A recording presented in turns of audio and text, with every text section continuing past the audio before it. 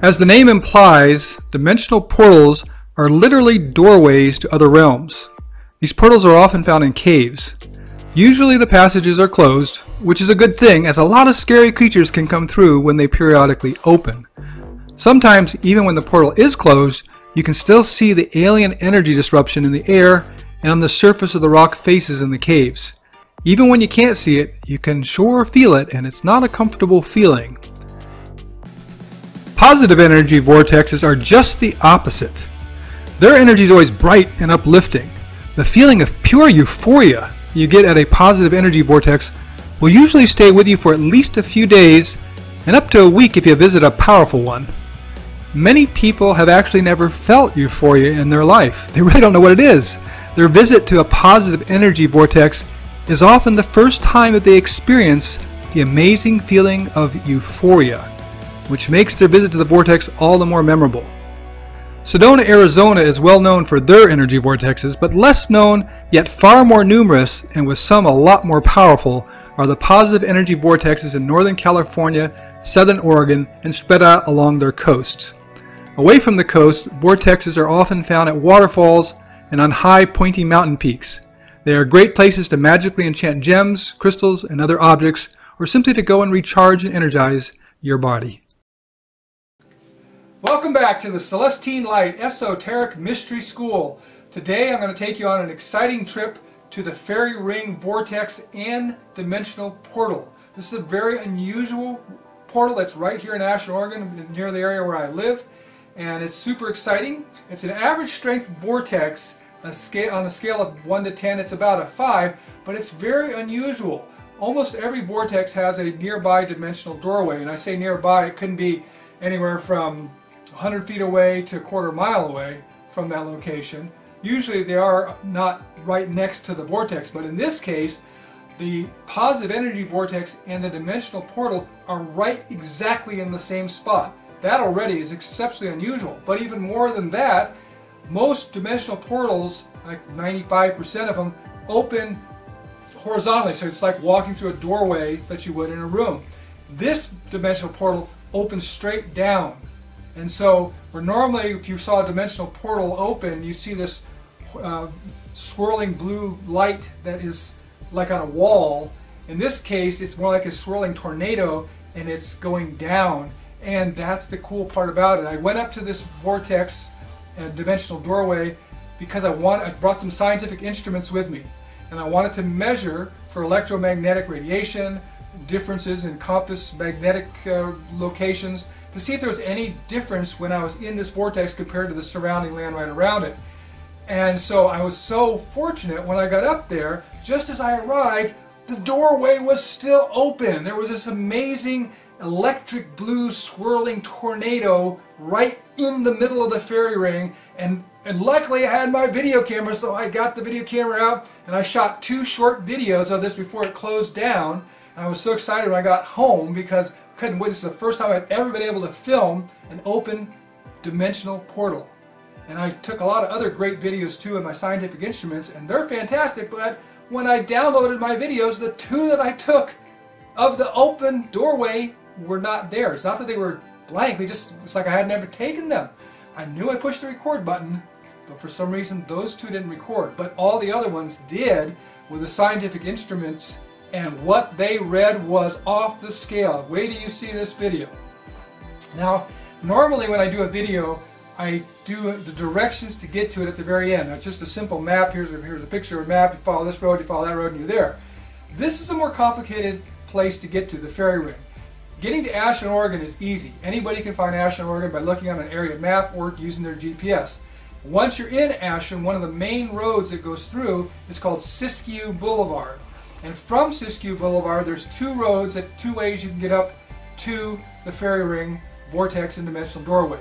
One is to turn on Siskiyou in Mountain, and the other is to turn on Siskiyou in Morton. You go on Siskiyou and Morton, you're able to drive almost all the way up to the vortex. You can go to the parking area and it's 600 paces from there to the vortex. If you take the other route up Siskiyou in Mountain, then you're going to end up going to the trailway where you're hiking up the mountain and that's an incredible trip that goes through the Manzanita Tunnel. You have over a quarter of a mile, not just a little section, a quarter of a mile of, man, of manzanita trees, which are green all year long, and they grow up uh, over the trail and form a canopy that you're walking through for a quarter of a mile. It's worth the trip to Ashland just to go on that hike through the Manzanita Tunnel. If you can top it off and go also up to the vortex and dimensional doorway, it's unforgettable. Now, I'm going to give you more directions when I show that on the video, but I am going to show that first so you have a choice in how to get to the vortex, the fairy ring, and the dimensional doorway. So, let's go take a look. If you want to hike to the fairy ring, to get to the trailhead, this is where you'll begin. While you're driving on the intersection of Siskiyou Boulevard and Mountain Street, turn on Mountain Street and head up the hill. Southern Oregon University will be on your left. You'll go through one stop sign and then you'll come to a T at the intersection of Prospect and Mountain. At Prospect and Mountain, take a sharp right and then immediately take a sharp left where you'll be once again back on Prospect and Mountain. The road just takes a little jog at that spot. Head, continue heading up the hill, up mountain, and the last crossroad that you will cross before you get to the end of mountain will be Ivy Lane. Once you get to the end of the mountain, just park at the end of the road on the side of the road. Immediately after the yellow fire hydrant on the right is the trailhead that you will start up and we're going to follow my beautiful wife Samara as she hikes up the Manzanita tunnel towards the fairy ring.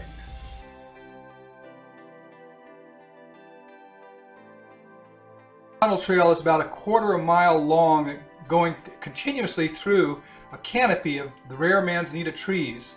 It is an incredible natural feature and it's worth a trip to Ashland just to go on this quarter mile, mile trail which takes about 10 minutes to walk. You see my wife Samara walking it right now. As we watch Samara head up the Manzanita Tunnel, I want to take the opportunity to talk a little bit about energy vortexes as there seems to be a lot of misinformation out there. The information that I'm going to impart in this video about energy vortexes and dimensional portals comes from multiple sources, including many years of my own observations. I've been seeing and feeling auric energy for, of all kinds for over 60 years, and I've been teaching other people to see the same thing for a couple of decades. My book, Auras How to See, Feel, and Know, is a full color book that shows and explains how you and anyone can quickly see and feel auras. It's a very helpful skill. Equally as useful helping me to understand what I see is that I have been full body, full trance channeling Philos, a higher being, since the mid 90s. Philos is my living galactic encyclopedia and always has answers for even my most difficult questions. Those of you that have read my books, Inception and Destiny, know that I am also in regular telepathic communication with Lazarus of Bethany. He deals with dimensional portals and the bad characters and creatures that can come through them on a regular basis.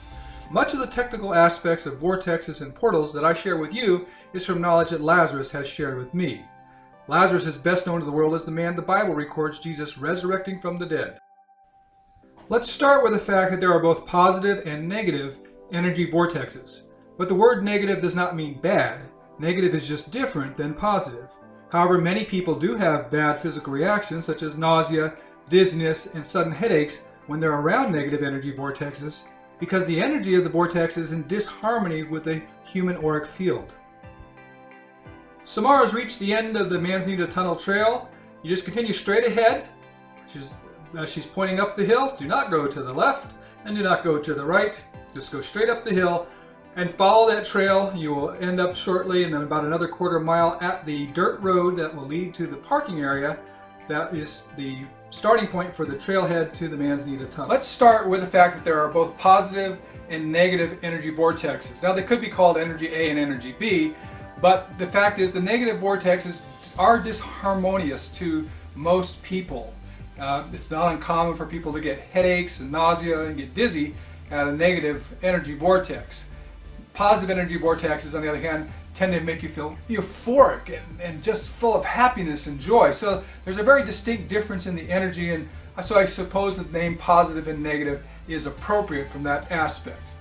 When you think about positive and negative energy vortexes, think about a bar magnet. Many people think, well, if it's a positive one, it's a, it's a female energy or a receiving energy. If it's a negative one, it's a thrusting male energy. This is actually, I think, not a very good uh, way to think about, about vortexes. They are actually connected to each other and they actually both come out of the earth. Most of them are naturally created by the earth. There can be some that are created by atrocities that men do in locations, negative energy vortexes, and I'll talk about those in a minute. But generally speaking, if you think about a bar magnet, and if you ever looked at one of those pictures, I'll put one up on the screen here for you, where you can see a bar magnet, it's got a north pole on the one side and a south pole on the other side. You can see the iron filings and how it shows the magnetic fields. And the interesting thing here is when most people think about that as being just two ends of the same energy. It's actually very, very different energies. Just like a positive and negative energy vortex is a very different energy. So for instance, if you were to take a bar magnet and bend it into a horseshoe shape, you now have a horseshoe magnet, but it still has a north pole and a south pole. To show that these are actually two very different energies, you can do the same experiment that I've done in the past. Remember the old Bic pens that you could get in a whole box of them at school? They'd, they'd be in a little cardboard box, like 24 Bic pens in the box. Well, if you get a box like that, cut off the top, take out all the pens of course, fill it up with dirt, put 12 earthworms in each box, get two boxes, put 12 earthworms in each box, put the boxes side by side, and then take a horseshoe magnet and stick it against the boxes so that the south pole is on one box and the north pole is on the other box, and come back 24 hours later, you're going to be very surprised at the results. What will happen is that all the worms that were in the south pole box will be gone. Now they weren't disintegrated, they just got so agitated by the South Pole energy that they all escaped out of the box. They crawled up out of that box, as long as you had the dirt that was close enough to the top that they could get out. On the other hand, all the worms in the North Pole box will not only still be there, they'll all be down at the very bottom of the box, just lying placidly and happily because North Pole energy slows down metabolic actions. And I did a lot of other experiments and with magnets as well that prove that the North and South Pole are really opposite forms of energy. And this is actually why magnetics can be used for healing. You see, you can go on the internet and you can see magnetic belts, magnetic wristbands. They are useful for healing wounds and injuries and even some sicknesses and disease, but you have to be using the right energy. And it's just the same with positive energy, uh, positive and negative energy vortexes there's really no useful purpose for the negative ones, but the positive ones make you feel euphoric and happy and wonderful, and those are great. Um, they can help you in many aspects of your life. If you're if you need that extra boost, find a positive energy vortex. Now, where do you find them? There's millions of these vortexes. The Earth creates them naturally, just like that magnetic bar, but they're on opposite sides of the world. So if you have a positive energy vortex over here, you're not going to find the negative energy vortex nearby. It's going to be all the way through the Earth on the other side, directly opposite of where the positive one was. But you can find these positive ones in many, many places. Any pointy little hills normally have some little vortex. If you're walking in the forest and all of a sudden you see a tree that's kind of curling around and around and all the other trees that are the same species next to it are just standing straight up, well that tree probably has a positive energy vortex right next to it that affected its growth. Now negative energy vortexes, although they can be created naturally, they can also be created by atrocious, horrible things that mankind did at that particular location that was so bad that they form a vortex of negative energy and that negative energy can remain and be a curse upon that land for many, many years, even hundreds of years. In fact, this is recorded as occurring in the Oracles of Celestine Light in Vivus chapter 24 when Yeshua and his apostles visited the town of Tyre, in today, which is in today's modern day Lebanon, along the coast. And it, that spot, when they went to visit it, it was some, I think, hundreds of years after Alexander the Great had laid siege to Tyre and totally destroyed the city and done atrocious, horrible, terrible things to the people, which is recorded in detail in the oracles if you want to read it. And Jesus and his apostles, Yeshua and his apostles, went to that spot to heal that negative energy vortex and to take that curse of that negative energy vortex off the land. Now, some people have asked me if energy vortexes, besides being positive and negative, are male and female. Well, that assumes then, of course, that, that the male and female have a positive and negative, one's positive, one's negative. And I think that this is not a really accurate way to think about it if you think again about the bar magnet, the Earth itself is a giant magnet, North Pole and South Pole. And it is just one gigantic magnet, it has the same kind of magnetic field that you see with a little bar magnet in the iron filings. And the energy vortexes are coming out of the Earth in both cases. They're both emanating out of the Earth. So there is not one that's a receiving one, things coming in, and another one that's sending out. They're both emanating out of the Earth, but they're emanating opposite forms of energy, and they're connected. Think about that bar magnet. So it starts out as one energy at the top, and as it goes through, it ends up as a different energy on the other end of the planet. If you want to drive up near the fairy ring and have an easy walk from the parking area up on the mountain, you want to go to this intersection of Siskiyou Boulevard and Morton Street and turn on Morton Street and head up the hill. And you're going to continue up that hill for a long ways, a couple miles. You're going to come to this stop sign where the road tees. And at this T, you're going to want to turn to the right, but then immediately take another turn to the left because you see that little road to the left, that's a continuation of Morton Street. So you're going to still be on Morton Street. You're going to turn right here, turn, excuse me, turn left here, and you're going to end up continuing up the hill uh, on Morton Street. Now, you're going to come to another stop sign, and then you're going to start up that steeper part of the hill, and Morton's going to wind around and around and up the hill. Just keep following it until you get to the next road.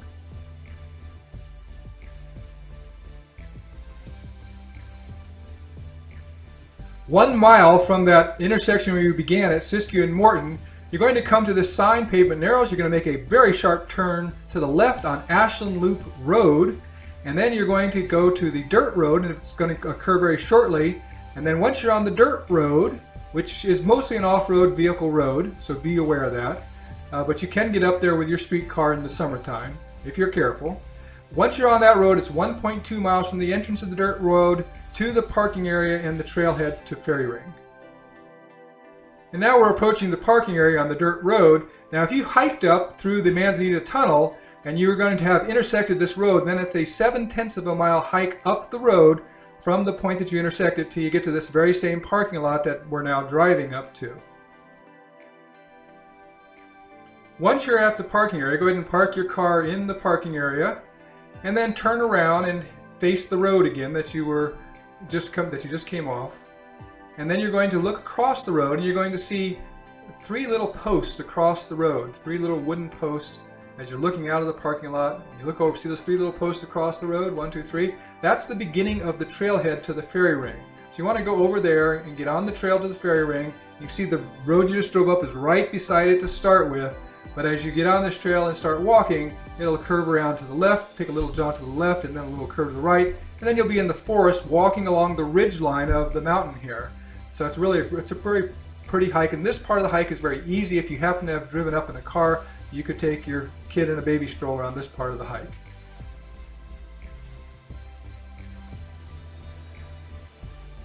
Both vortexes and dimensional portals have colors, and they can be very brilliant and very varied in their colors, uh, especially for vortexes. Dimensional portals tend to be mostly that electric brilliant blue color when they're open and they're swirling and when they're closed they tend to have not much color at all just a kind of a energy diffusion that you can see that there was something there that was energetic.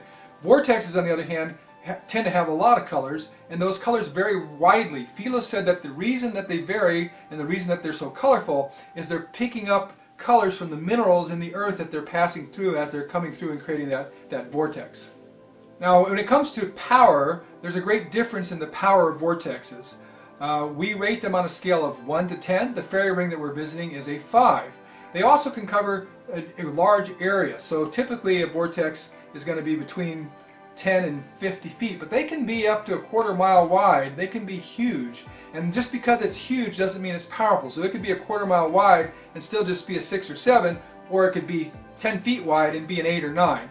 So the, the, the size of the width does not determine the power. The power is what you actually feel when you're on that vortex. And once you've visited enough vortexes, you'll be able to rate them yourself because you'll know the difference between when you're at a 1 or 2 when you're compared to when you're at an 8 or 9. Now because vortexes are swirling around in their energy, and it's a constant motion, it doesn't stop, it sometimes can be uh, discombobulating because you're going to start swirling around yourself. And that's not an uncommon thing to happen, that you start swirling with the energy, which is fine as long as you're not on some precipice and you swirl right off of it, because a lot of these vortexes are on pretty pointy areas or on precipices, so, so certainly be careful of that. We don't give a power rating to dimensional doorways, dimensional portals. The reason is that they're open so seldom, it's really, even if they had a lot of power that you could measure, it's not something that is useful as a measurement because they're just not open enough. Uh, what dimensional portals do is some of them may be open only once every thousand years, others may open every month, they may open for an hour, they may open for a week, they may open for a month or a year. So it just depends upon the portal. The portals are a way to exchange energy between worlds and between dimensions. This is very important. We think about our Earth as being this one little place in the universe, but we are actually connected to many other places in this universe through these portals. Because when they're open, there's an exchange of energy back and forth and atmosphere back and forth between the worlds. And this is vitalizing, revitalizing to both worlds. So it's an essential part. It was the, when the universe was created, these portals were created at that time to help this revitalizing process so that all parts of the universe are continually being recharged with fresh energy. And that's an important thing to remember. While portals can be used as a way to travel between worlds, that is not their primary function. That's not what they were created for. They were created as a way to share energy between worlds and keep them revitalized. As we're approaching the fairy ring, at first it just looks like another typical group of trees, seven or eight trees all growing around each other. However, as you get closer, you see these are not seven or eight separate trees, but this is seven or eight shoots coming up from the same root. So this is a circle of root going around, and around that circle, we have seven or eight different trees all growing up, but sharing the same exact root, the fairy ring. Very special spot.